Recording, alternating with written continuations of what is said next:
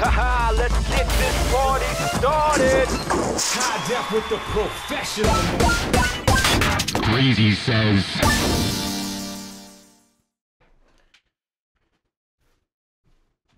Is this recording?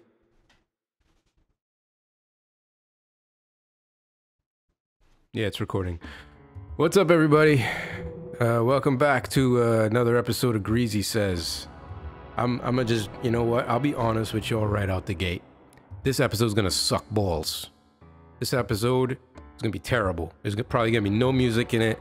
It's probably just gonna be me rambling for however long I feel I can ramble for. I might not even talk about games on this one. Who knows what I'll talk about? Well, I'll talk about shit that happened to me in the last few weeks or whatever. Um, but yeah, fair warning.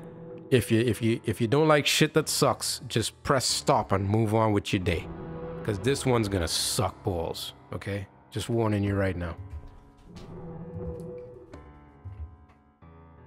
Hold on, I gotta go water this plant real quick. I'll be right back. He did say that this one would suck. He was honest. There was a ladybug. There, there's a ladybug on on the plant that I was watering. Ladybugs are good luck. Maybe maybe uh, things are looking up. I got a ladybug. So I've been growing. I've been. This is how exciting my fucking life is. I anybody out there, you could be five years old, and I guarantee you, you're cooler than I am right now. Yep. So I have these two little pots in my studio, and Uh-huh. one has shade grass seed, and the other one has full sun grass seed. and because my life is so fucking exciting, I decided to, to, to plant a bunch of these seeds and just see what happens for fun. That's what passes for fun in my life now. Growing, watching grass grow. That's it. That's it. Pull the plug. Pull the plug. Oh my god. Um, I'm sure everybody goes through this. I'm gonna be real with y'all. Anybody, everybody goes through this. You ever get to a point where you just completely lack motivation to do anything? Oh, yeah. That's how I've been feeling recently. Like last few days, I took a week off. Right, took a week off, no work, no nothing. Um, and I was determined to get a bunch of cool shit done. And I did get a few cool things done. Okay, so I took the week off. Um, uh, the the weekend before my week off, I'm getting amped up. I'm like, okay, I'm gonna paint the studio because I wanted to paint my whole studio this new color, and I had started half of it like months ago, and it's just been kind of half done sitting there. And I've been like, I would love to finish this shit and get it done and feel accomplished and like do this project. You know what I'm saying? So I was like, okay, on my week off, I'm gonna spend at least one day, maybe two days painting. Best laid plans. The Saturday before the week that I had off, my kid gets me sick. Like, he comes down with something, and then, like, right on Saturday, as soon as my time off started, I was sick again, right? So all my plans are kind of dashed. I tried to like paint on one day and and that kind of worked out and then I like tried to go to Muay Thai, you know, in that afternoon, way, pushing myself way too hard as fucking always.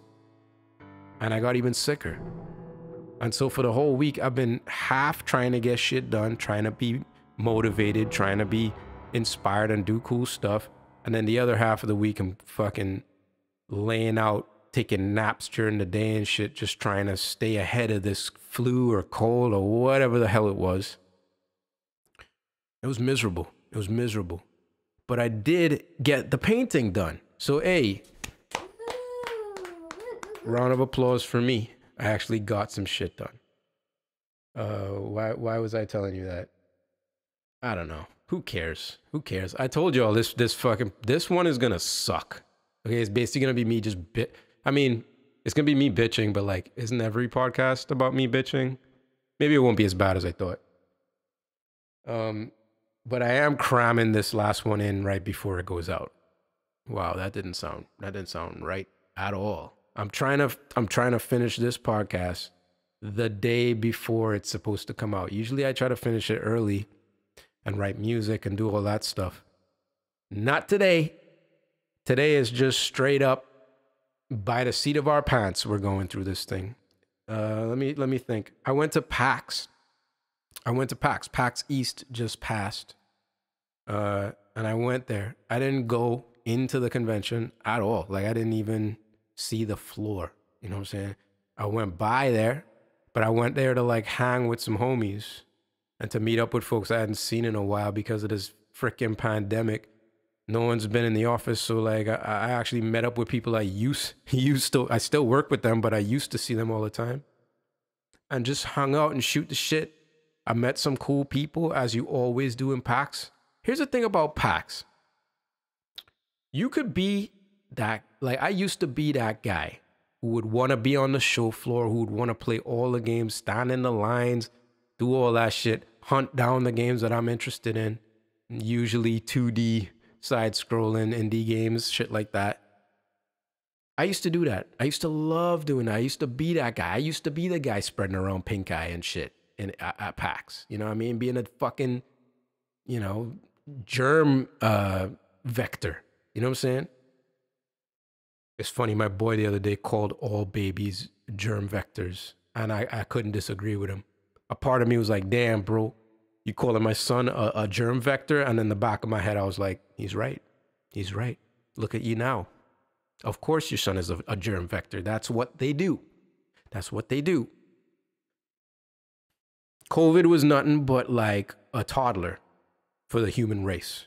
It was like it was just a toddler that came through with some some cold from daycare and it just hit a bunch of old people and tried to take them out. That's what kids do. They try to take out old people. Respect on that. I mean, they're good at it. They're they're very good. What the fuck was I talking? All right, PAX. So yeah, I used to like to go on the floor and, and mix up and shit and, and talk to devs and blah blah blah. But now I'm all about after PAX or like outside of PAX. Like I meet more interesting, cooler people sitting at the bar and like people just rolling by and having conversations or sitting in the hotel, uh, in the hotel lobby or whatever and meeting people. Or just on the street. Like I was hanging out with some heads and then this dude pull up who knew the head I was hanging out with. And he had made this game that like I had heard about called um, Soundfall. Go check that shit out. He worked on this game. Uh, it's like a it's like a bullet hell shoot 'em up 2D style. Um, has kind of an anime vibe. Well, maybe not anime, kind of mix between anime and like Western new animation, like Steven Universe and them kind of things. It's really that's really the hot look right now. Um, but yeah, I met this dude who who's like doing level design, gameplay design, etc. Right on the street, on the side of the road, smoking fucking weed. And boom, he rolls up. He's like, "Yeah, I work on this thing." I'm like, "Oh shit, okay, we should connect." Blah blah blah blah blah. Uh, yeah. So I like that part about PAX. I- I'll fuck with PAX on like a not at PAX level. So if you're at PAX and you want to hit me up and talk shit, hit me up and I'll meet you after. I'll buy you a beer or or a fucking whiskey or something, and we could talk shit and talk shop. You know what I mean? And that'll be more fun for me and probably more fun for you. Uh, yeah. So anybody else go out there, go to PAX, reach out to me. Greasy says uh, on all the social media. Um, and let me know what your PAX experience was like. Uh, I saw a couple things that I had not known about, and I'm, I'm very excited about. Uh, a, a, homie uh, who actually reached out on the podcast before got to play Road to uh, what is the name of that shit again?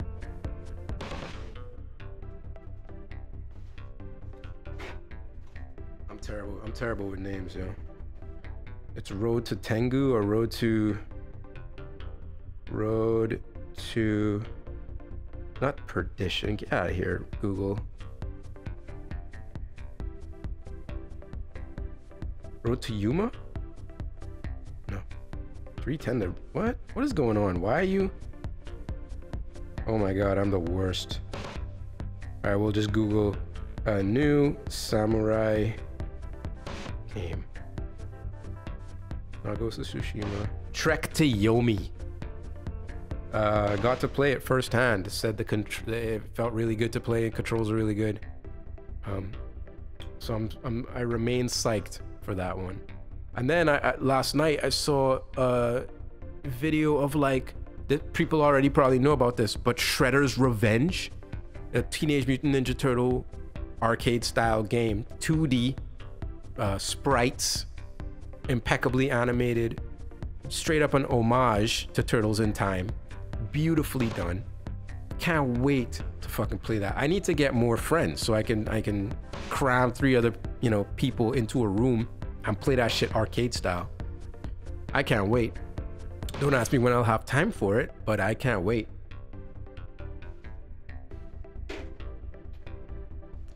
Yeah, so uh, I went to PAX. That was cool. Um, drove really fast home. I hope I didn't freak out the dude I was giving a ride to. Um, I also it also made me feel really fucking old. I'll be honest. To be at PAX. My God, the energy it takes to cosplay. I mean, holy fucking shit. You have to be motivated as fuck to, to cosplay because first you have to have the idea, then you have to have the follow through to make the outfit with all of the the, the mistakes and and challenges uh, uh, that that it takes to that you have to go through to make a fucking costume that actually works.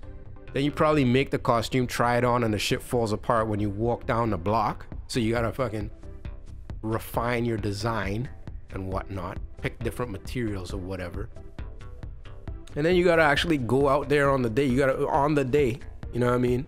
Someday, months later, you gotta motivate to get up and actually go to the convention dressed like whoever the fuck sweating your fucking ass off. You know what I mean? I get it for some of the like super foxy females, you know what I mean, who making up basically a living off of this shit and their IG account about to blow up as soon as they step up inside a PAX in their sexy Princess Peach fucking outfit or whatever. But for like regular schmoes who making their your giant sword out of duct tape, what's the payoff? I don't know. I guess it's just for fun and like your friends will see it and you have a good time. So I applaud that. But boy, it made me realize like I'm I thought I was a nerd, but like I don't have the dedication. I don't have the the follow through to be a hardcore nerd. I just don't. I thought I did, but I'm I'm kind of like in the middle. You know what I mean? I'm like a casual, but I'm also like kind of a nerd because uh, I love games and shit. But you're probably not gonna catch me cosplaying ever. You never will. I appreciate it. I'll look at him and applaud you. But damn, I respect the grind. I do. I really do. So I saw some interesting cosplay, of course, as you always do at PAX. I feel like PAX East usually has the best cosplay. Am I wrong? Reach out to me on social media. Tell me if I'm wrong. If if you think what uh, E3 had better cosplay, I feel like they really come out at PAX. They really do. Yeah. Yeah. Yeah. Oh, I got to meet uh, some musicians at PAX. I met this really cool dude. I, am gonna call his name out. I don't usually call out names, but I'm gonna call his name out because he was actually like a decent. He seemed like a decent human being and like down to earth. You know what I mean? Like when you go to PAX or when you go to any of these conventions, a lot of the time you hang out with people and everybody just gets into that mode of like selling themselves. So you're basically sitting around listening to pitches.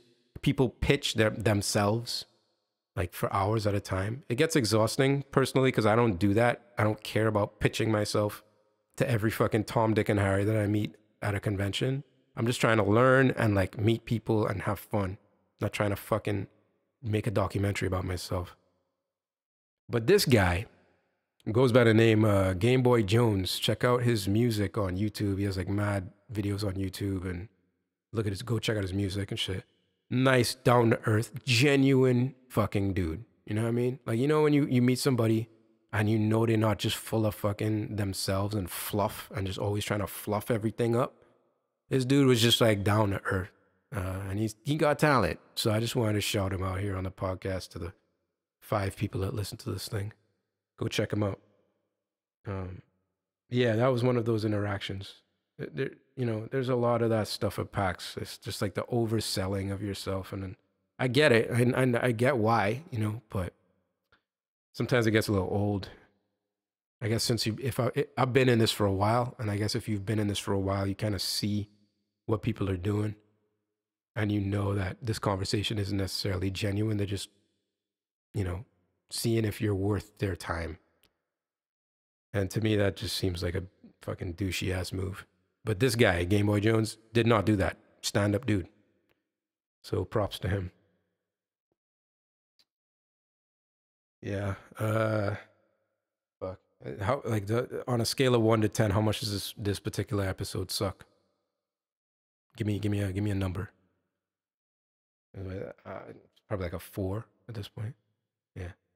Have I even been funny? Has anything funny happened? Have I made a joke? Have I made anybody laugh yet? Or are you just sitting there like, why? You just looking at the numbers, click down on how much is remaining on this podcast. I apologize. I apologize. Um, maybe I'll name this episode "This One's Gonna Suck." Uh, it probably won't be the last time it happens either, because I am quickly realizing that juggling all these things and trying to make a quality podcast with all the music and all the shit I do in this podcast, it's a lot of work. It's high demand. Um, and sometimes I just don't have it in me. You know what I mean? Sometimes I just like run out of steam. And this week, my, my between my kid, PAX, you know, painting this fucking studio, uh, taking care of family shit, I just, uh, I mean, you're lucky you even hear me talk right now. I'll be honest. I thought about just being like, fuck it. Big deal. So what? There's no podcast this week. I don't care. But I was talking to a homie of mine the other day and he asked me how the podcast was doing. I was like, yeah, it's okay. You know, I'm, I'm, I'm just aiming for consistency. I want to put this thing out consistently. And that's my biggest goal. Uh, make people laugh and be consistent. And whatever happens, happens. Uh, so that that's what motivated me to, to press record right now. Even though this one is gonna suck. And I apologize. Oh, uh, did y'all see Danny Elfman at fucking Coachella? The dude is, he is ripped. He's ripped. He's like 50 something years old. Very inspiring. I mean, he looked like something out of Johnny Depp's Wet Dreams or something. Like, tatted up, jacked fucking 50 year old guy. I was very impressed. I read this GQ article that my homie sent me about his workout regimen. And, you know, as I'm getting a little bit older, you know, I like taking care of yourself is mad important. Like, and I like to be fit. Like, I like to be a fit dude. I like, I, I ain't trying to be no flabby motherfucker. And no offense if you like that, but I ain't trying to be like you. You know what I mean? Uh, so I, I respect the hell out of this. And this dude was saying how he how much he hates doing cardio, how much he hates being on the treadmill, he, how he he doesn't eat bread, he don't eat no sugar. You know what I'm saying? He don't he don't even he he doesn't even have a cheeseburger except on his birthday. You know what kind of discipline that takes? And he's a 50 year old dude who, who, he says in the article, he's still going to sleep at like 2.30 in the morning because he's writing music all night. Bruh. I can't remember the last time I stayed up that late writing music. It's been a while, especially since my kid came along. I be I be catching them fucking Z's, bro. No, no doubt. Like I might be in bed by like 10 and shit. You know what I mean? That's just how it goes for me. I don't know if Danny Elfman have kids. I think he does, but they probably older. Yeah, but I, I respect his grind, man. I respect his grind that he's grinding on music that late into the day. And I respect his grind on taking care of his body, taking care of his health, and being fucking swole at, at 50 years old, more than 50 years old. That's just fucking crazy to me. That's goals for me right there. That's it. I want to be like that guy. I'm gonna hop on the Peloton more and try to get my cardio up. I was even thinking about dropping bread, not because I saw this article, but because I was, you know, various conversations that happened in the last couple weeks about diet, nutrition, and like, you know, you can't really the way you digest bread as you get older is not the same. Like you don't break it down as quick as you did when you was young. Same thing with sugar. So you you you eat that candy bar and it's gonna you're gonna pay for it three times over than someone who's like 20 something. Just because your metabolism is shit and your whole your whole machine is just kinda, you know, been running for a long time. So it really it's like an old car, you know what I mean? It don't really run as well as a new Tesla, you know? Speaking of Teslas, Wow, this, is now now we're rolling. You, y'all just getting a, a taste of my personal life. Am I gonna talk about any games? I don't know. I'm not even playing anything right now. What am I playing? I was playing some Fortnite. I haven't played OlliOlli in a minute. I downloaded a bunch of shit. What I download? Let's see. Gris. Um, Disco Elysium. I'm waiting. I'm waiting for a nice big chunk of time to play that one. Um, what else did I download? Oh, I downloaded the new, the third um, Amnesia game, the horror game. Psyched to play that. Um, I don't know when I'll have time, especially since the weather's getting nicer. I'm gonna be outside a lot, so I might have to wait until October to play that one. Uh, maybe I'll play that for the for Halloween, for my Halloween Jonesing. Um, yeah, and I got a couple other things. I can't remember what they are right now. What the fuck was I talking about? Uh, oh, right. Speaking of Teslas,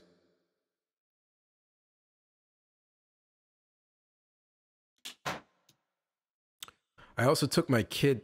Well, me and my wife took took my kid to uh, an electric car meetup over the weekend. Just a bunch of motherfuckers who own electric cars who are enthusiastic about it, and they pull up in a local parking lot and they they open their cars up, and you could sit in them and talk to them about how these things work and blah blah blah. And my kid right now, he's getting bigger. He's growing up. Let me tell you his three favorite words. Mama, anytime first thing in the morning, he wants to know where's mama at, right? He sees me, he's like, Where's mama at? Motherfucker.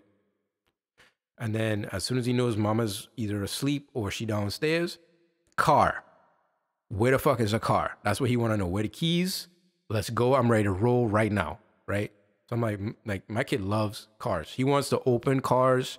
He'll roll up to somebody's car he don't even know, try to open it and steal it. He always pulls up to our car. He knows exactly where he sits, so he goes to his side every time he sees it. He sees a truck or something. He's like, "Wow!" So we took we this weekend was, it was car, it was car weekend, right? Took him to this electric car meetup, and we took him to a touch a truck thing where you, where they have like, you know, big ass fucking uh, fire trucks and uh, drunk tanks and move like moving trucks. They got uh fucking uh the, the, the tractors you could jump in. They got a horse, which is kind of a vehicle, right? A horse is a vehicle. So my hit, my kid was on cloud nine, honking horns, moving the steering wheel around. It was great. It was great to see him walk up into the parking lot and just be like, "Car!" just like mad loud and just start running. You know what I mean? It it made me happy. It made me realize I was doing the right thing. So I don't know, man. Like maybe my kid's a racer.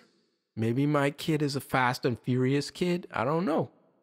But I'm definitely thinking about what kind of car toys can I get this? Like, should I get him one of those, you know, those highly wasteful, terrible fucking toys that are like battery operated cars that you can actually drive? Like little kids could actually drive. I might break down and get him one. I don't know. Why not? What else am I doing? Nothing. Exactly. What, what else can I talk about? Nothing. I'm, I'm growing grass seed in my fucking studio. I could, that's going to be exciting for me to get him a fucking car and watch him roll down the street in it. You know what I mean? Simple pleasures is all I got, y'all. But yeah, the, so these, the, the electric cars, uh, talked to a bunch of people at this thing. I got to check out a Rivian, which is like this new electric truck. It's like a pickup truck. Uh, crazy amounts of storage which is usually an issue with electric cars. Um, beastly shit, man. Costs like 65, 70 grand. So yeah, I'll pass on that for now. It's a little bit too much for a truck, especially when you get a fucking F 150. I looked it up for like 30 something. You know what I mean? Um, but like, it's great to see, you know, powerhouse electric vehicles coming along. And as I was, and I, as I was talking to all these people,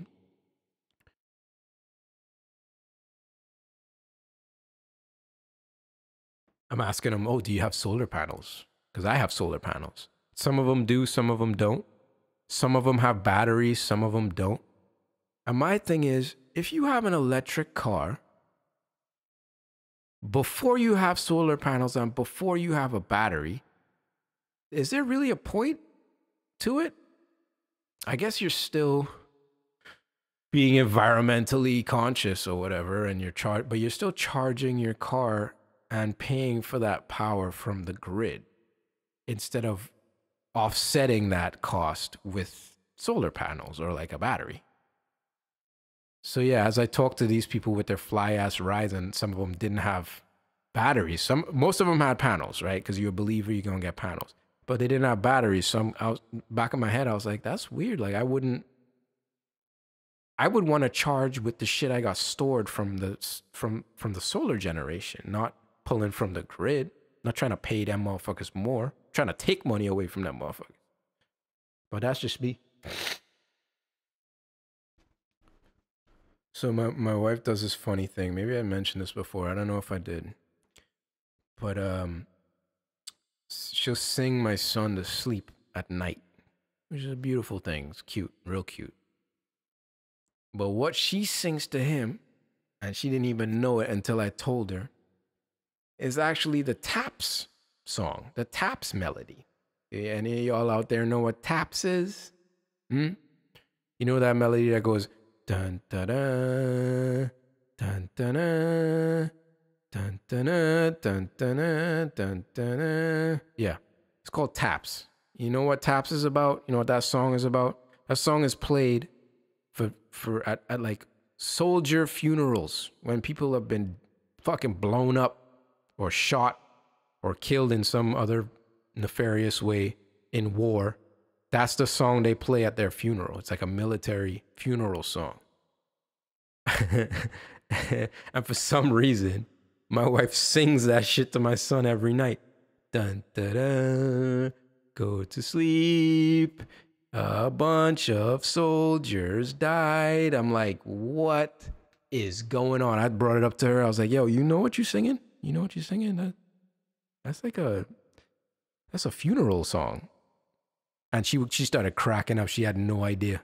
She just that's my that's how my wife works, right? She's she's so not a musician. She'll just hear a melody and that'll just go into like the the, the bank and it'll come out later in some way, some other weird way. So she's out here singing a death march to my son for him to go to sleep. And he sleeps like a baby off of that shit. Like, no worries. Like, he's good to go. It's really, really weird. Uh, it's fucking strange. But he likes it. Fuck. So cars and and and funeral music. Maybe my kid's gonna be like goth and like a, a, a speedster at the same time. That'll be funny. That'll be real funny.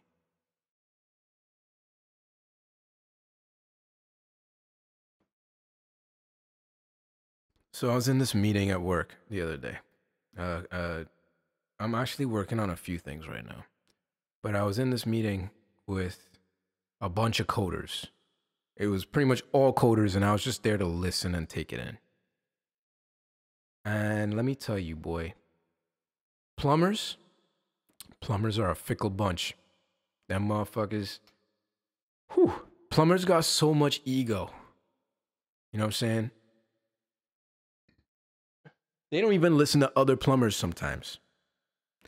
Other plumbers that are working with them together to solve the thing, they won't even, they'll talk over a motherfucker. They'll like cut that motherfucker off just to get their point across. And I find like coders do this more than anybody because coders are always thinking four steps ahead. That's how they, they work. That's how they think. So while one of these motherfuckers was trying to explain his point, the other motherfucker, you could see him shifting around in his seat on Zoom, like uncomfortable, because he was ready to just talk. He just wanted to talk. He was about to burst. He was about to pop if he didn't get his fucking two cents in and he would just jump in and interrupt everybody, man, to like to get his point across. And the other plumbers, the other coders, were just like, you could tell how annoyed they were, which made me happy. I'm glad that other coders out there are pissing off other coders out there. I'm glad. I'm it made me so happy to watch. I had to turn my camera off so I could laugh, so I could snicker in the corner. It was so funny to me to see a plumber get cut off by another plumber. And by the end of it, I don't think they really accomplished anything except frustrating each other, which also made me happy because fuck you. So I would say that sometimes plumbers are actually incredibly inefficient, right?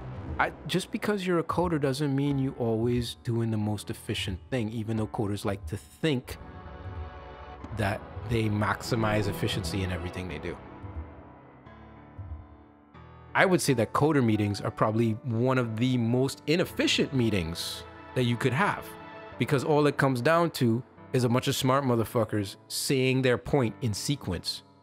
Nobody's actually listening or collaborating. It takes a few meetings for that to happen. So coder meetings are incredibly inefficient and emotionally draining. I wasn't even involved in the conversation, and by the end of it, I was like, Jesus Christ, I need a drink.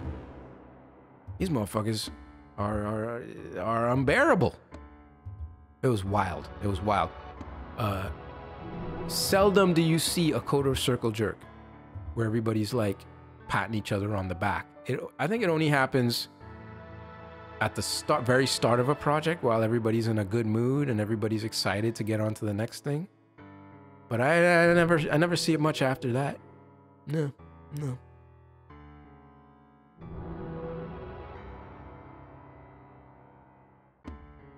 if there's any coders out there listening, what do you do to get through those uh, coder meetings where you guys are debating about how something is built or whether the approach that someone's doing is the right thing? How do you have those conversations without murdering each other? And does it ever feel like you made any progress, any kind of forward momentum after one of these coder meetings? Or does it just feel like you're all just kind of sitting in the same spot? Spinning your wheels? I don't have the answers. I'm just curious. Well, um, yeah, I just realized that I had to stop it real quick because I just realized that it had looped around and I was recording over the shit I had already recorded. So, uh, yeah, just, just to prove how much this podcast is going to suck this week, I'm even, even the recording process is terrible. Um, but we have made it to the end of another episode of Greasy Says. I managed to ramble on for however long in one take, more or less. Yeah, in one take. This is one take, except for the fuck up that I did because I well, accidentally erased some of what I did. Um, greasy people, I fucking apologize. I really do.